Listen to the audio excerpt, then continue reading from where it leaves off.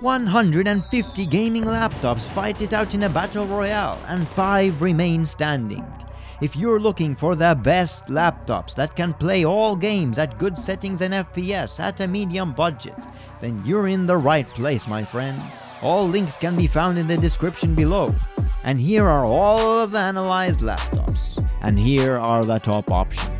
For each option, I will quickly show you what games you can expect to play, at what settings and FPS. So let's get started. But wait, I have a great tip for your piggy bank. It will save you a couple of hundred dollars. When you click on the links, you will find that all of these options can be upgraded, whether it's CPU, GPU or RAM. But I suggest you don't do that. Instead, look at all of the options first. You will find one of them has exactly the specifications you're looking for, and at a cheaper price. Coming up first is the cheapest option in the list, the Lenovo IdeaPad 3 gaming laptop, currently at around 670 with Windows 10 Home, or around 740 with Windows 11. This laptop is extremely cheap for what it provides you. With an AMD Ryzen 5 5600 CPU and a GTX 1650 GPU, you are going to be able to have a great time. Here is a list of all the games, settings and FPS you will be able to play at. That's really impressive, especially since the monitor has a 120 refresh rate. Keep in mind that at the $700 price range, that's almost impossible to find. With 8 gigs of 3200 200 MHz DDR4 RAM. It is going to be more than enough to play even the most demanding of games. But the only downfall for this option is going to be low storage capacity, which is at 256 gigabytes. You will not be able to download that many games at the same time on it. Naturally, it's a full HD laptop with a monitor size of 15.6 inches. Lenovo claims that the laptop has an 8 hour battery life, but sadly if you are going to be gaming gaming, you can expect much less than that, around 2 to 3 hours actually. It comes with a backlit keyboard, but its functions are limited. Here are the laptop ports. The cooling system of the Lenovo is pretty good, and let's go to the next option.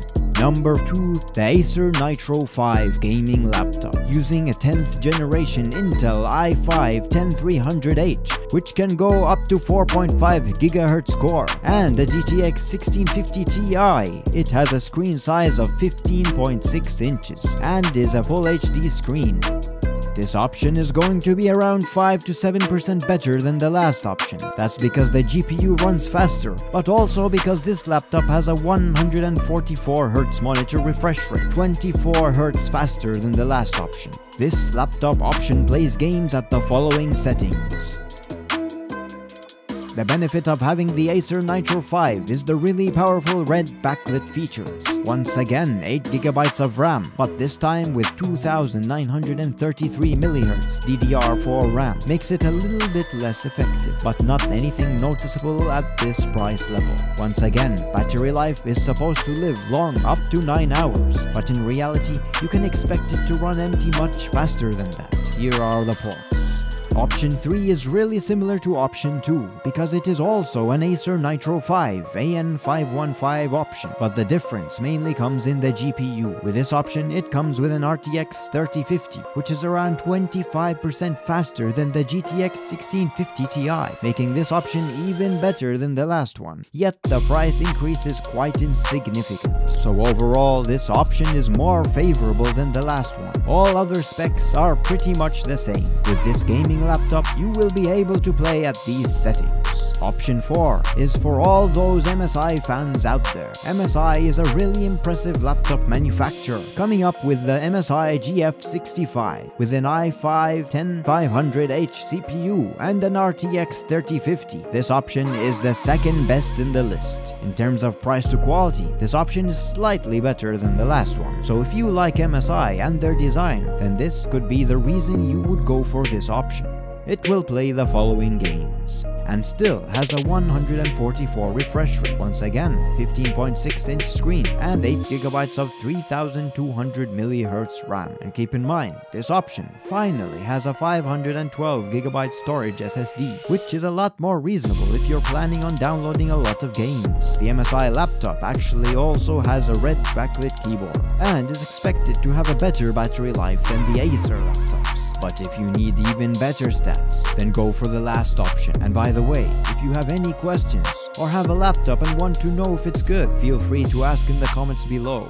The HP Pavilion 16.1 inch gaming laptop. Not only does this laptop have a larger screen size while maintaining the 144 refresh rate, but it also has a GTX 1660 Ti graphics card and an Intel i5 10300H CPU. Just so you know, once again, GTX 1660 Ti is better than the 1650 Ti by 55% and better than the RTX 3050 by 25%. So, with this big quality jump, you are going to be able to play games at the following settings.